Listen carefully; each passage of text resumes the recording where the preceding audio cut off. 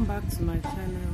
Uh, today i want to show you how i made this delicious this look on my client's face. I call this the title of this video the makeup for black skin girl.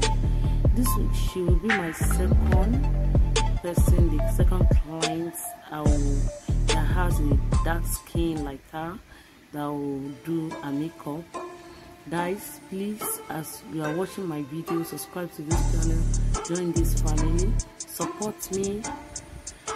Guys to start a makeup i have to prep her face try to you know shape her brow then i then lay the the primer on her i use Padula primer on her on her skin on her face to prep her face so i noticed that the primer is not working for her face so i have to switch to my Pond's face primer because she she's this oil skin person so i have to massage the Pond's into her face very well so that uh she it can bring out some dryness in her face. So i got something dry on her face. The oily skin stopped. It really works well. Then i have to apply my foundation next. I use Advo foundation like i normally use this foundation in my videos.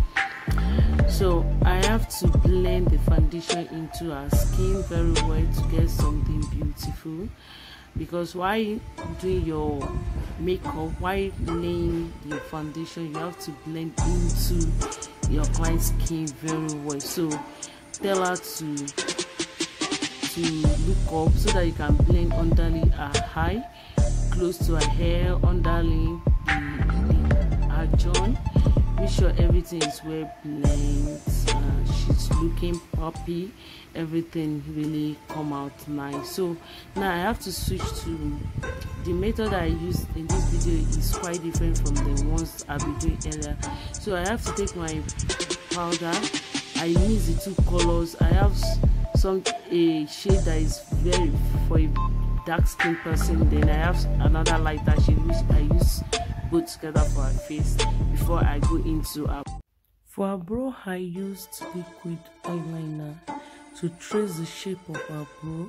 Drawing eyebrow, you need to consider the, you have to trace the shape of the brow of your client or model because everyone has different brow shape.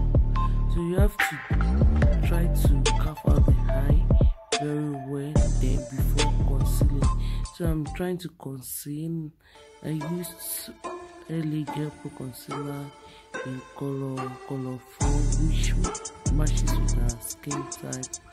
So over the upper eyebrow i try to use a foundation the foundation i use for her face to conceal her brow upstairs because it will avoid me of blending too much blending. You see what i am trying to do. So i have to tint the eyebrow this is called eyebrow tint which you use for to do some dramatic lines on your brow to make your brow beautiful. So i have to blend the, the concealer i use for eyebrow before applying my primer uh, eyeshadow primer.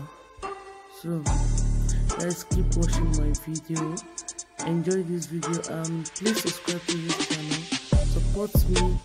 I love you guys